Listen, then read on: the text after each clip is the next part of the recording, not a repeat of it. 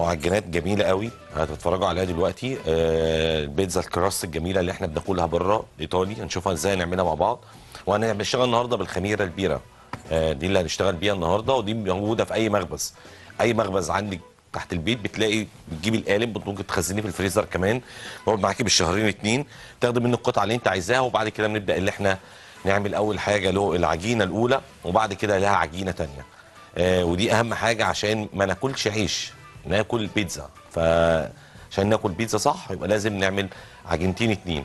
هنا تتخمر الأول اللي هو البوليش وبعد كده نبدأ نحطها مع العجينة الثانية أو الدقيق الثاني اللي هنبدأ نشتغل بيه. نوع الدقيق بي- بيفرق طبعا بيفرق كتير جدا جدا. وأنواع الدقيق اللي بره بتختلف عن أنواع الدقيق اللي موجودة هنا.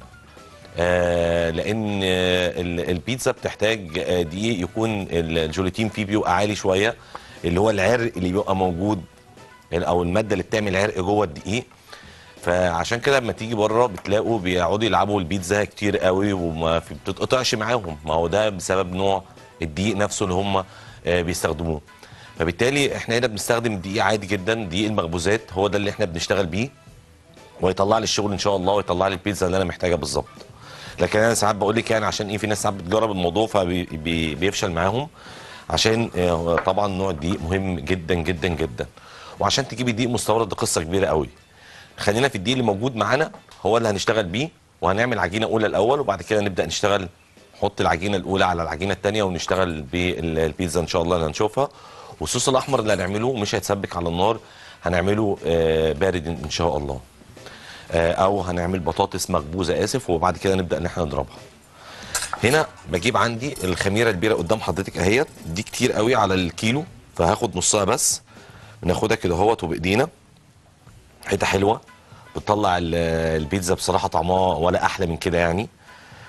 قدام حضرتك كده دي بالنسبة للكمية دي تمام جدا. تمام؟ شوية صغيرين.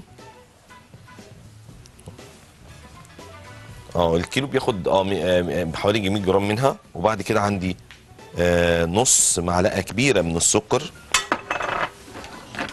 بعد كده بقوم واخد عندي شوية مية دافيين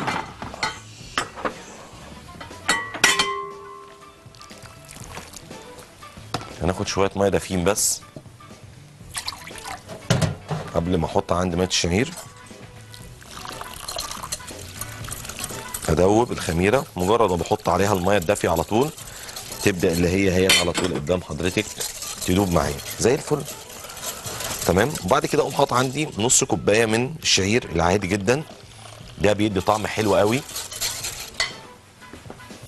طبعا نشربهم إحنا دول وبعد كده بقوم واخد عندي ثلاث معالق من الدقيق. عملنا عجينة في الأولى محترمة جدا. واقلبهم واقوم مغطيهم واسيبهم لحد ما يبدأوا اللي هم يخمروا معايا. كلام جميل. يبقى دي العجينة الأولى اللي هنبدأ نشتغل بيها. اقوم جايب صينية محترمة زي الكيتشنوفا ديت ونقوم حاطينها هنا كده ونسيب أول حاجة دي تتخمر معايا كويس جدا. طيب بعد كده بنبدأ نعمل إيه؟ آه تسيبها حوالي ربع ساعة أو تلت ساعة ويا سلام لو عايزة تسيبيها وتقوم مغلفاها وسايباها بالثلاث ساعات في الثلاجه أو لتاني يوم. هتاخدي ريحة بيتزا محترمة جدا غير لما تحط العجينة كلها على بعضها بالخميرة وتقومي ضربها صدقيني في الآخر هتاكلي عيش مش هتاكلي حاجة انت تبقى مبسوطة منها يعني. طيب تعالوا بقى نشوف عندنا الصوص اللي أنا هعمله الأحمر. ركزي فيه قوي بقى وشوفي هنعمله إزاي. هنا توم آه بجيب حوالي خمس ست فصوص توم احطهم هنا. حبة ريحان كده هاخد منهم الزهر بتاعهم. ريحان أخضر. بعد كده ممكن حمدي اخد عندي شوية زيت زيتون.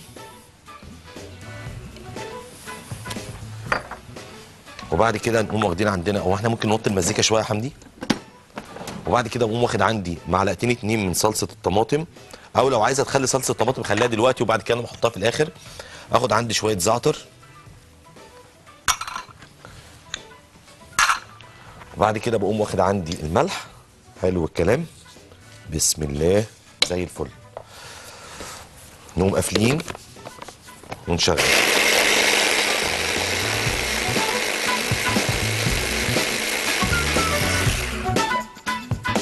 بعد كده هو بقى بنبدا نعمل إيه بقى؟ بقوم واخد عندي الصينية يا باشا اللي إحنا هنبدأ إيه؟ نحط فيها الطماطم.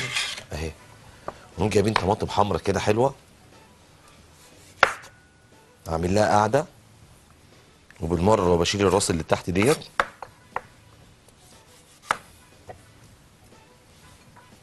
زي الفل يا كبير.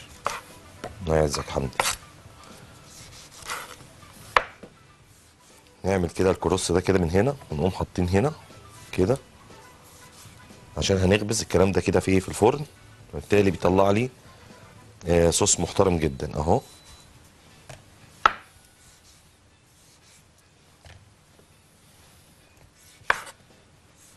كده أهو.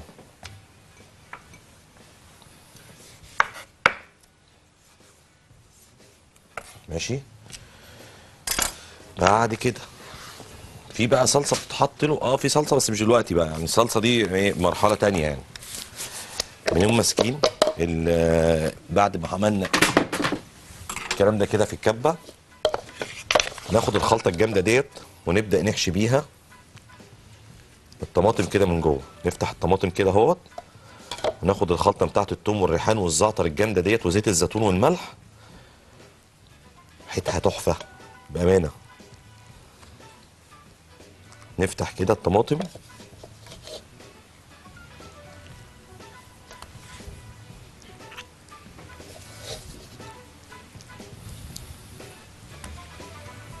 نبدأ نحشي حشوة محترمة كده.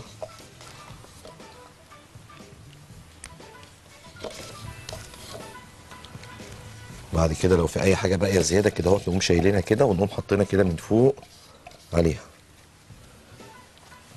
كده بقت تمام. نقوم واخدين الحاجة دي ونروح حاطينها في الفرن لحد ما تبدأ اللي هي إيه تتخبز معايا كويس جدا. أنا حوالي 10 دقايق كده ولا حاجة هتلاقيها بدأت ال- الطماطم تدبل معايا كده وتاخد وتدي مع الريحة الجميلة ديت. درجة حرارة عالية يعني. طيب بنبدأ نعمل إيه دلوقتي بقى؟ آه الخميرة اللي إحنا عملناها أو البولش اللي إحنا عملناه مجرد أصلا انت ما تفتحي أصلا الاسترتش بتاعك بقى وتشم ال- الروايح بتاعت الايه الخميرة ديت بتلاقيها في حتة تانية خالص. نيجي هنا نقوم فاتحين عندنا العجان ونقوم حاطين عندنا 3 أرباع كيلو من الدقيق.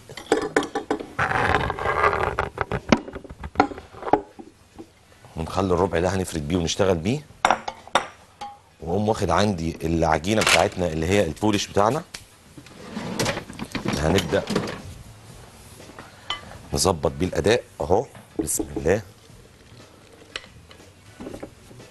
هو ده بقى اللي يخلي الحاجة ريحتها تبقى إيه في حتة تانية خالص. أساسي طبعا معلقتين اتنين من زيت الزيتون يتحطوا مع العجينة.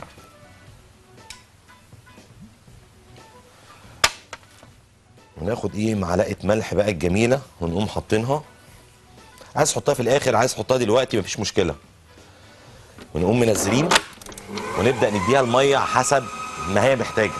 أنا عايز العجينة تبقى مفتوحة معايا.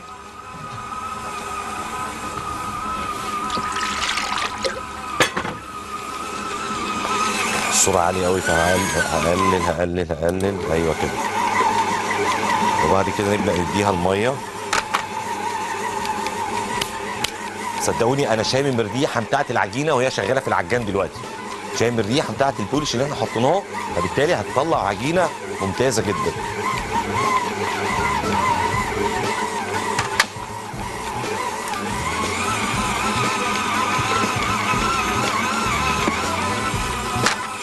اسيبها لحد ما تبدأ اللي هي تعلى معايا وتتظبط معايا كويس جدا. وإيه والعجينة تبقى ما تبقاش ماسكة معايا.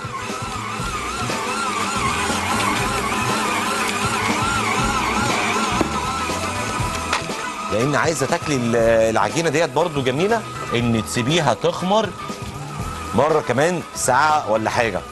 تغطيها تقسميها وتسيبيها تخمر كمان ساعة. وبعد كده تبدأي تاخديها على طول وتبدأي تشتغلي بيها.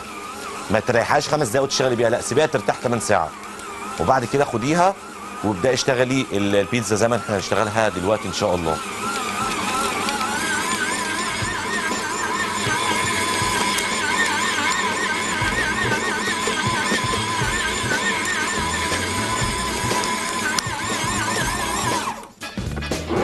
شوف بس محتاجة آه، محتاجة مية ولا لأ. محتاجة ممكن آه، سنة ميه بسيطة جدا. ننزل ونشغل طيب إيه إيه حوار بقى السجق بقى؟ السجق برضو أنا بجيبه بعمل له تتبيلة حلوة جدا. ماشي؟ عشان هنشوحه مش هنحط له بصل ولا هنحط له أي حاجة هنحط له بس آه، شوية بهارات على طماطم على مية بصل كده اهوت ونقوم سايبينه ونبدأ إن إحنا نشوحه. فأقطعه. عندي مكعبات زي ديت.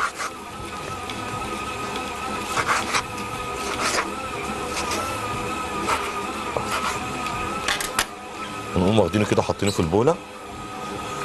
نديله شوية مية بصل. شوية من البهارات. وشوية ملح. وعندي شوية فلفل صغيرين وشوية بابريكا. وبعد كده هو بنبدأ نقلب مع بعض.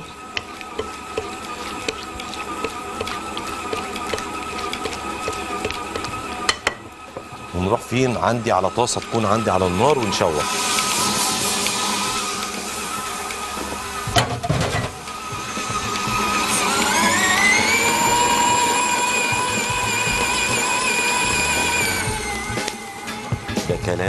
جدا.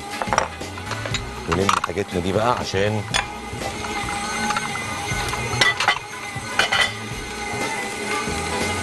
نظبط الموضوع.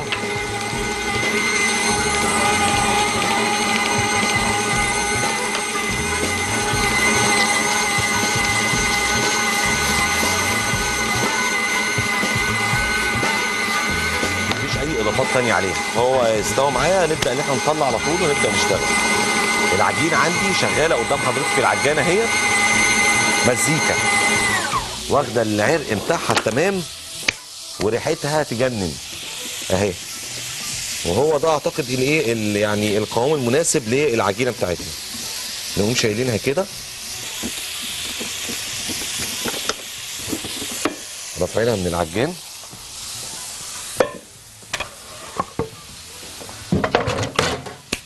وبعد كده بنقوم واخدين عندنا شوية دقيق صغيرين قدام حضراتكم اهيت هوب يا باشا نقوم حاطينها هنا. بسم الله.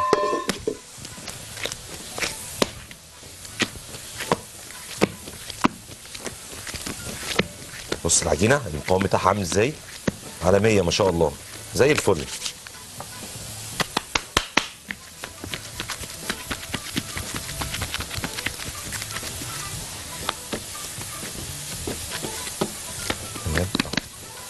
هبدأ أعمل إيه بقى؟ اقوم واخد كل واحدة لوحدها كده أهي.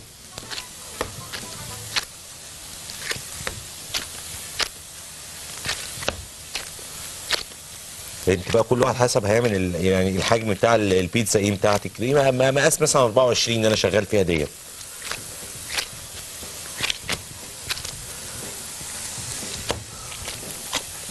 حط دي هنا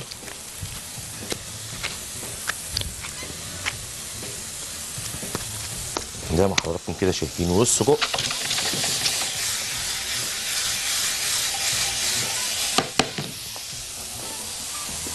نديله التشويحة بتاعته بعد ما إيه خد التتبيلة التمام اقوم مكور عندي ال- البيتزا بتاعتنا ونبدأ إن إحنا إيه نسيبها ترتاح بقى. قلت لك لو ساعتين محطوطة في في الثلاجه في الثلاجه مفيش أي مشكلة خالص.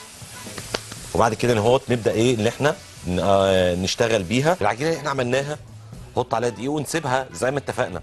عايز تحطيها آه، في علبة في الثلاجه وتقوم خطياها وبعد كده تقسميها براحتك. هي بص اهي هي دي العجينة اللي إحنا نبدأ نشتغل بيها. اهي دي اللي أنا هبدأ اللي أنا هعمل بيها البيتزا دلوقتي. بص فيها المطة فيها كل حاجة بتاعة الخميرة فقشطة. هوريها لك دلوقتي هنشتغل بيها تبقى زي الفل. هنعمل الصوص طيب نشوف ال- الموضوع هنعمله إزاي. هنا بقوم واخد عندي الطماطم. أنا قلت قبل كده على موضوع لو الفرن عالي في حاجة أنا قلت الموضوع ده نقوله تاني عشان في ناس ممكن ما كنتش بتتفرج على الحلقة دي. لازم الفرن ما نفتحوش كده. غلطة كبيرة قوي ساعات بنعملها. ال- البخار بيبقى موجود فيه حتى لو أنت لو تلاحظ أنا عملت كده. أو الامن إنك بالجنب تفتحي بالجنب. بص طالع قد إيه؟ فده ممكن يطلع كله على وشك مثلا يعني. حط هنا الطماطم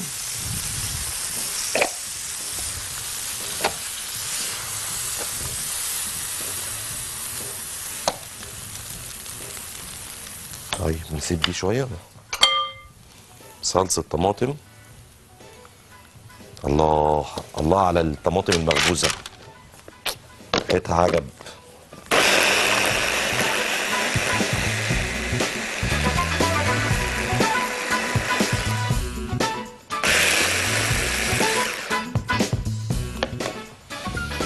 أحلى صوص في الدنيا صدقيني يعني. بص بص ال- القوام أصلا واللون بتاعه نازل عامل إزاي؟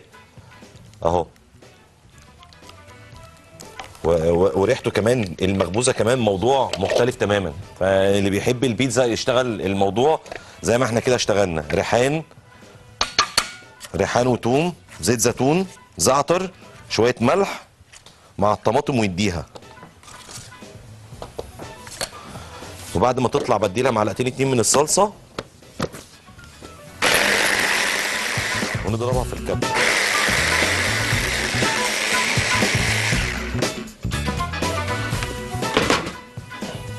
حتة حلوة قوي بجد والله إن شاء الله. طلع أهم حاجة إيه؟ نقوم لاقيين عندنا الملح بتاعها ونشوف الملح بتاعها نظامه إيه. امكس كله مع بعضه كده بسم الله الرحمن الرحيم. فوق الممتاز. فوق الممتازه بطاطس المغبو... الطماطم المخبوزة فوق فوق الممتازة. ك... كطعم آه، مختلف تماما. بأمانة يعني والله. فاعملوا الخلطة دي كده زي ما هي. طماطم افتحيها حط فيها توم آه، في الكبة توم في الكبة خمس ست فصوص توم مع ريحان أخضر مع شوية زعتر صغيرين مع ملح مع شوية زيت زيتون وحطيها في الفرن اخبزيها وبعد كده اضربيها. ولا تحطي على النار بقى ولا تسبكي ولا أي حاجة. أهو صوص جاهز. تعالى بقى نشوف البيتزا قدام حضرتك أهيت. هنا دقيق وهنا سميد بسبوسة ناعم. ماشي؟ دقيق وسميد بسبوسة ناعم. الاتنين مع بعض بنحطه هنا. وناخد أول قطعة من العجينة.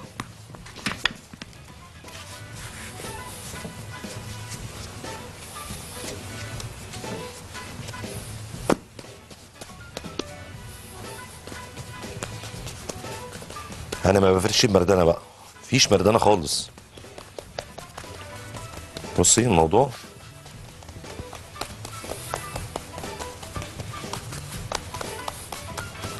انت في البيت هتلاقي ممتعة جدا بقى. صينيه البسبوس إيه صينيه البسبوسة عامل زي إيه بيلي رمان كده فبيبدأ اللي هو إيه يعني يفتحها لك زي ما انت عايزة. اهو.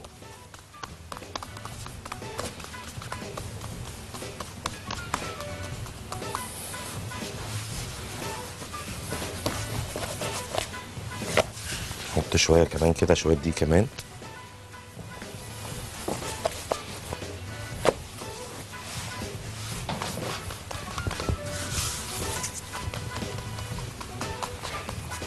ارفع بقى على قد ما أقدر. اديها آه ما تخليهاش بقى مش بنعمل آه، سبونشي لا إحنا بنعمل آه، البيتزا الإيطالي الجميلة اللي هي ال- الكراست اللي بتبقى آه، رفيعة بتبقى أفضل بكتير جدا يعني من أي بيتزا تانية.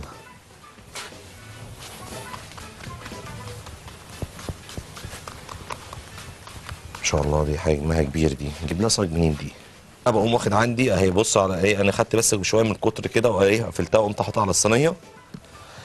هو المفروض بقى إيه اللي هي بتتحشي وهي موجودة على الرخامة وبعد كده أنت بتشيليها. هوريك السهل الأول. أهو. يعني تحطيها الأول على الصينية تفرديها وتحطيها على الصينية بالشكل ده. وبعد كده بنقوم واخدين الصوص الجامد ده. يا عيني.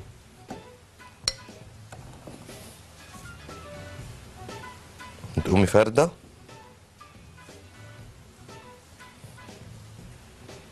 على فكرة بالمناسبة كمان الصوص ده اللي أنا حطيته ده خفيف مش تقيل.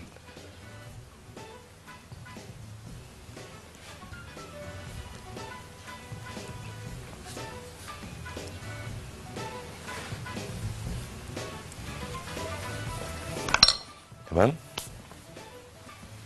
لو في إمكانية نجيب الموتزاريلا البافلو ماشي مفيش مشكلة. البافلو دي, دي بتبقى مدورة كده بنقطعها شرايح ونحطها مفيش أو أي آه، موتزاريلا شرايح شغالة يعني وزي الفل. إحنا بس محتاجين ديت نقطعها مكعبات صغيرة أو أصغر من كده شوية.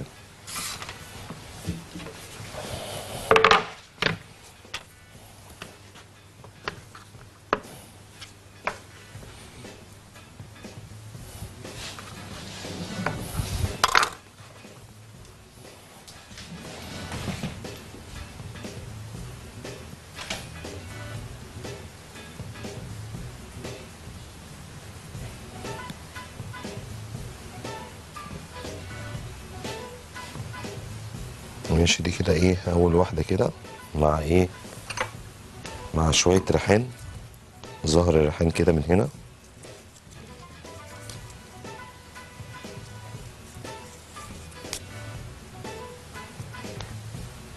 تمام.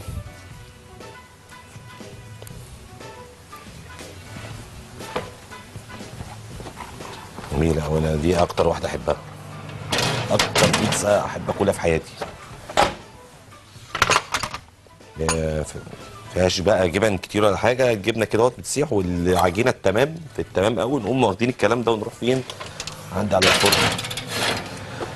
درجة الحراره بتبقى عالية درجة حرارة الفرن بتبقى عالية بتبقى درجة حرارة 250 دي أعلى حاجة عندي في الف- الفرن عندي. شيل بس السميد ده عشان إيه ما يعملش ندخل ونشوف الموضوع هيبقى ماشي إزاي. تعالوا بقى نشوف ونعمل. حتة عجينه صغيرة كمان بقى؟ نعمل نشوف اللي بالسجق ده نعملها إزاي. بسم الله. نحط دقيق.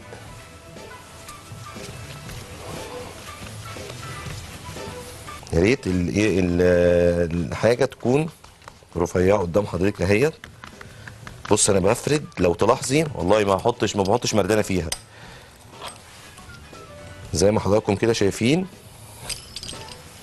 عايزه بس صغيرة. العجينة طبعا بتبقى دي كلها بحطها في العجينة التانية وبتشتغل عادي جدا معايا مفيش أي حاجة بتترمي يعني.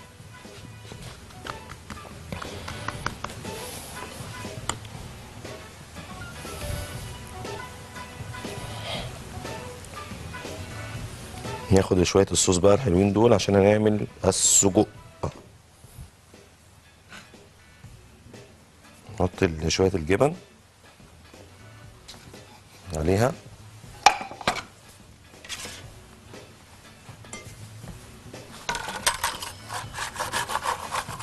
بعد كده بنبدأ إن إحنا نقوم واخدين عندنا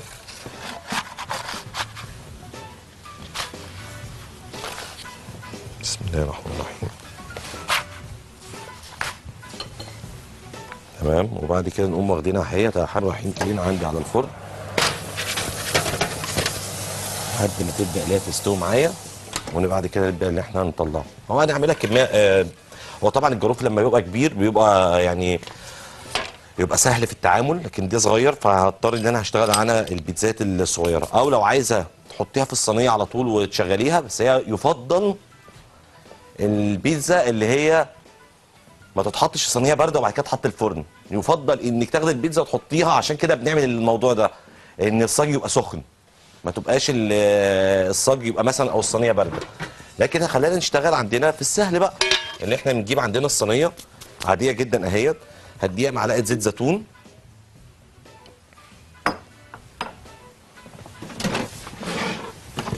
ودي برضو خلي بالك من ضمن الحاجات اللي بتطلع الحاجة تكون رفيعة معاكي والعجينة ديت اتخمرت كام مرة؟ لو تلاحظي مرتين اتنين فما بتتخمرش تاني بعد الفرد. يعني بعد ما بتفرديها ما بتريحهاش. الاسبونش التانية انت بتاخديها وتحطيها في الصينية وبعد كده تبدأي إيه؟ تسيبيها تخمر وبعد كده تحطي عليها الحشو. دي لأ.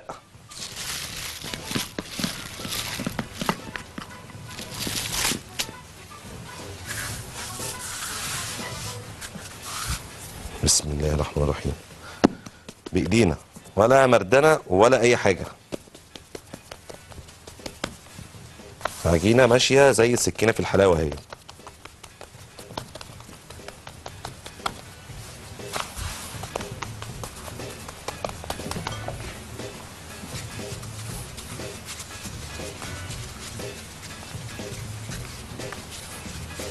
عنده الحروف كده وتقوم ماسكاها.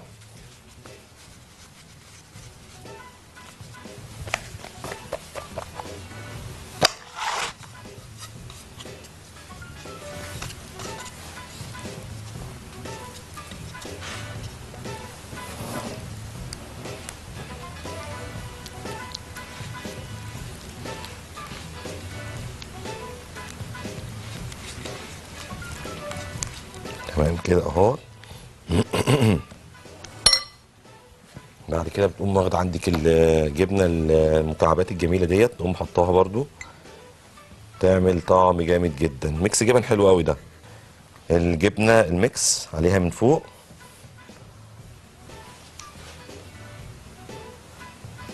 زي ما حضراتكم كده شايفين ونقوم مدخلينها على درجة حرارة كام؟ 250 زي ما إحنا بنسوي.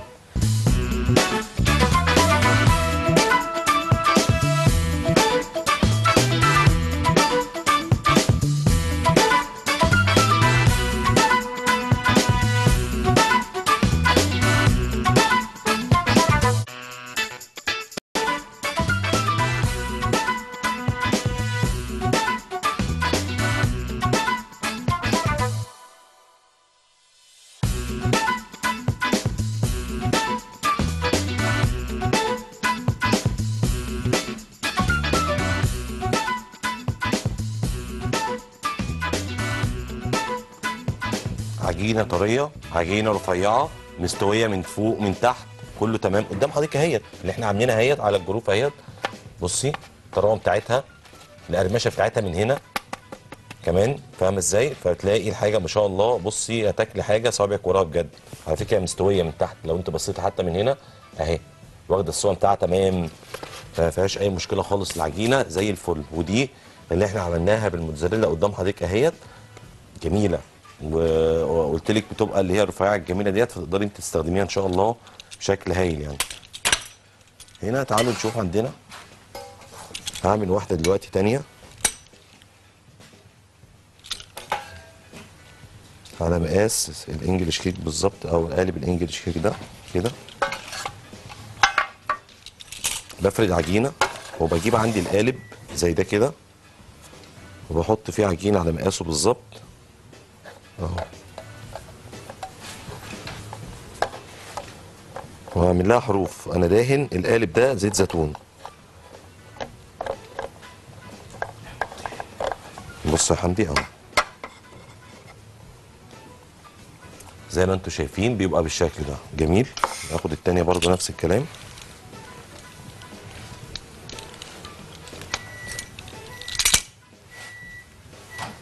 ناخد العجينة. ونفردها واعمل لها حروف بس من جوه على قد ما أقدر. عشان بس الجبنة لما تسيح ما تلزقش في الحاجة تبقى يعني أعرف أطلع ال- القالب العجينة من القالب بمنتهى السهولة يعني.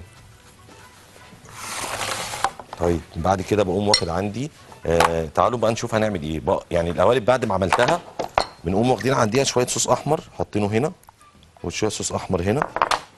وبعد كده بنبدأ اللي إحنا إيه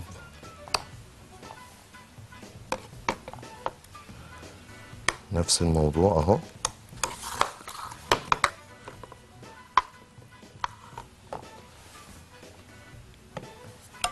أصلا من غير حاجة دي تاكل لوحدها كده عالمية. شوية جبن من فوق.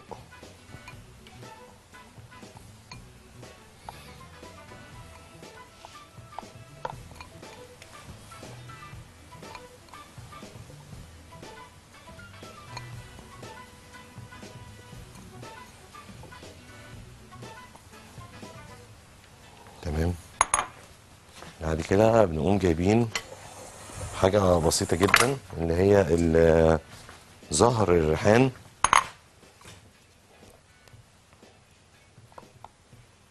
حاطينه كده على الجبن من فوق من هنا.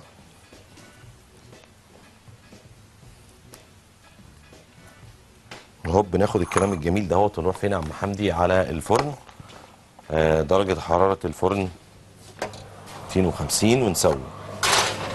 جميل.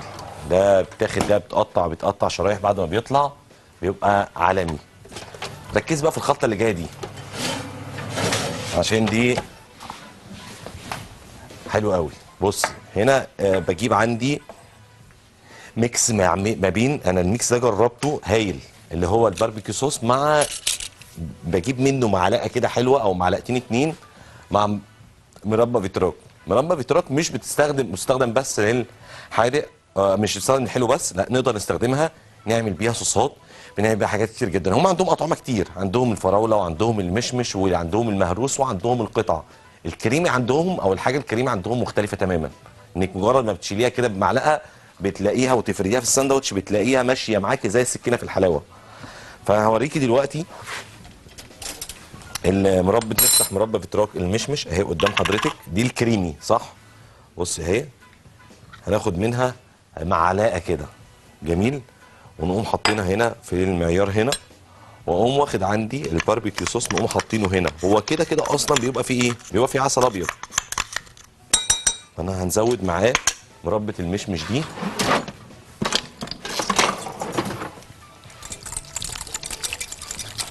مربى مشمش من بيتراك بص مجرد أصلا ما بضربها بالمضرب السلك بتلاقي إيه؟ فكت معاك على طول.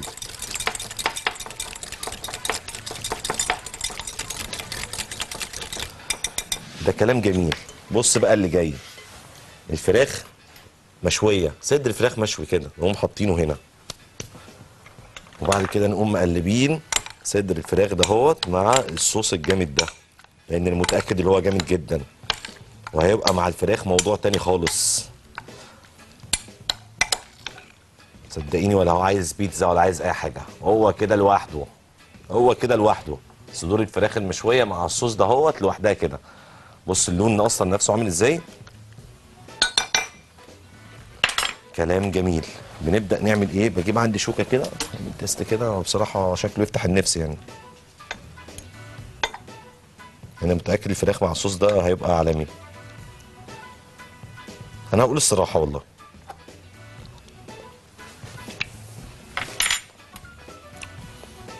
الناس اللي بتحب طعم ال- المزازة هتتبسط قوي. هتتبسط قوي. أصلا التدخين كمان بتاع الفراخ والله عامل شغل عالي جدا. أنا بقول الصراحة والله يعني اللي ببقي بقوله. طعمها حلو جدا. يعني إن شاء الله تعملوها آه، لأنها حلوة. لا طلعت حلوة جدا. ممكن أصلا ناخدها كده آه لوحدها يعني.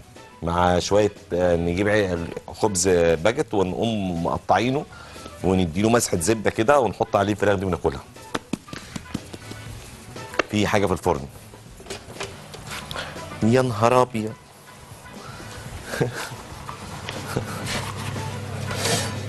أهو. نبقى أخبار هنا؟ نبص بقى. طب خليها من تحت شوية. هو ده الفكرة اللي بتكلم فيها. إن الصاج لو سخن أصلا هتلاقيها استوت زي دي على طول. كان أنا حطيتها في صينية وبعد كده فأنا نزلتها تحت شوية عشان نقدر إن هي تستوي معايا وتطلع زي الفل. فين الصاج اهو.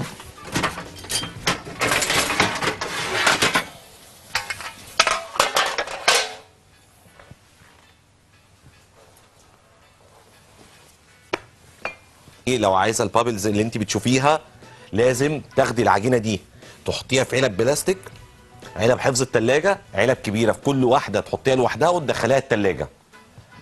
وتسيبيها لتاني يوم تطلعيها تقومي فرداها وتبدأي اللي انت تشتغلي بيها. دي هتطلع لك اللي انت محتاجاه بالظبط.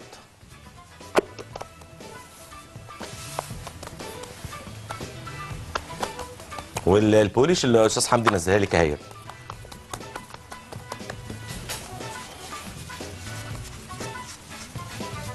وبرضه بيعتمد خلي بالكم برضه يا جماعة على الفرن يعني. يعني ال- الفرن ال- البي- البيتزا هي برضه مش هنتكلم يعني في حاجة ده كلكم أكيد عارفين يعني وأساتذة. يعني 80% تسوية هي فرن.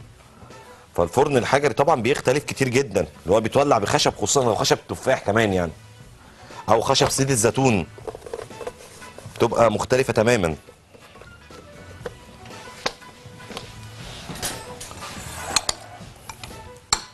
هاخد شوية صوص كده صغيرين هنا.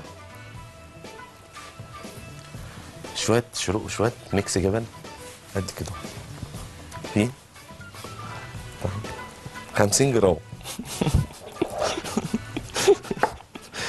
شنو انت مزعلة الناس كلها والله؟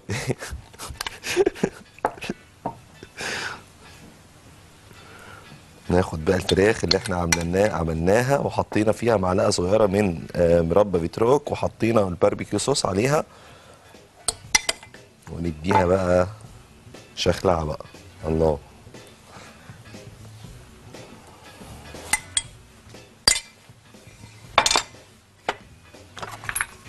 لا. ماشي. أوكي.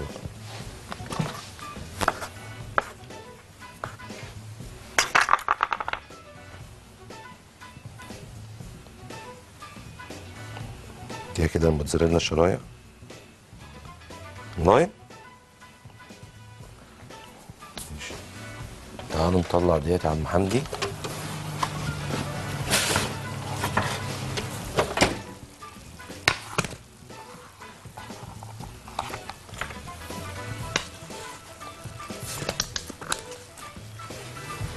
ده فل قوي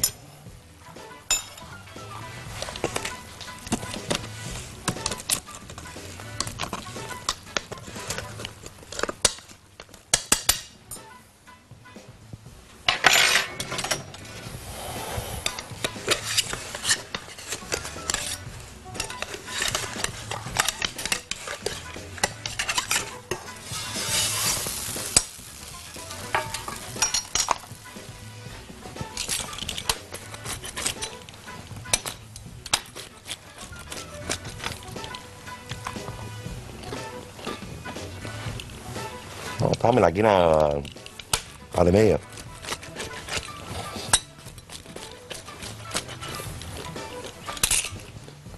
مم. إيه رأيك في الرفع ال- العجينة؟ بصي مم. طعمها بصراحة هايل هايلة إن شاء الله يعني تعمليها وتتهني بيها إن شاء الله يعني وتعمليها النهارده لل لأسرتك النهارده حاجة جامدة جدا تعالوا نشوف عندنا اللي في القوالب يا حمدي؟ خلاص برضو. اهي بص اللي في القوالب ديت شيك قوي. شياكة الشياكة. حط بقى على تحت كده خليها تستوي من تحت وتظبط. خش يا ياقوت خش يا حبيبي. حمدي بيقول لك اتفضل. ليه يا صديقي؟ شكرا. آه، شكرا.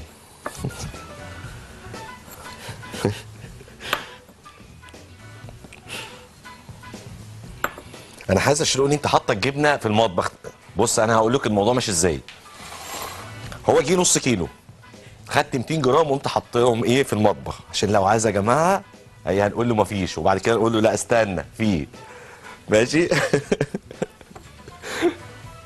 هحاسبن هحاسبن. اهو اهو خلاص. أنا كده تمام. خلصت. ناخد يا باشا دي الصاج وندخل على طول على الفرن عشان الفراخ دي هتطلع حوار. طلع. وإحنا بنطلع كده اهو. هجيب عندي الاسباتولا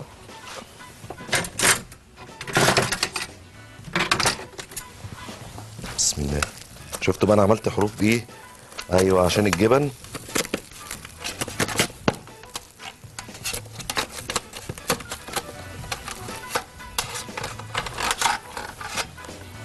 جامد قوي يا حمدي. ده بص يا حمدي قبل ما نطلع والله صبرا جميلا. بص يا سعادة الباشا بس هناخد واحدة لسوعة دلوقتي. بس أنا مركز. أهو.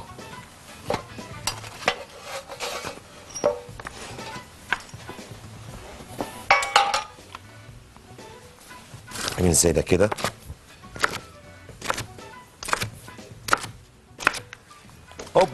راح فين؟ ماشي.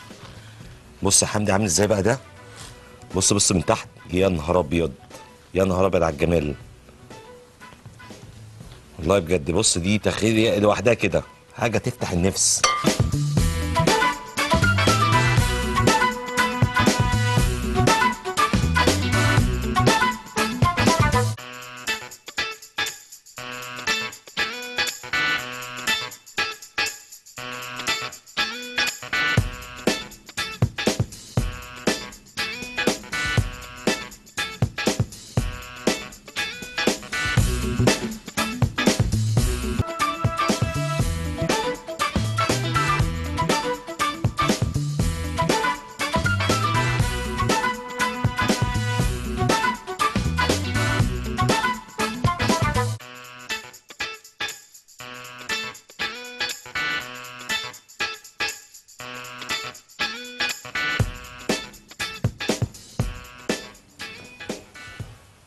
نص دي بقى اللي هي معمولة بالباربيكيو يا جماعة ومعمولة بمربى مشمش يا سلام. دي ولا كلمة دي. حقيقة حاجة محترمة جدا.